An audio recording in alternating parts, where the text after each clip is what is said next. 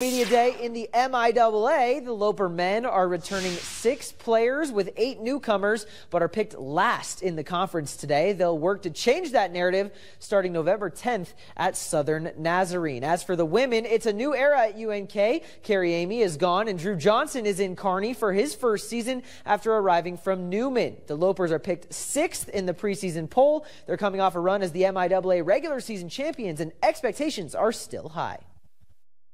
We've been really process driven early, um, partly because it's it's going to be new, and uh, there's some stylistic differences that we will we will bring to the table, helping lean on them of hey, what are they used to experiencing? How do we how do we kind of make that our own?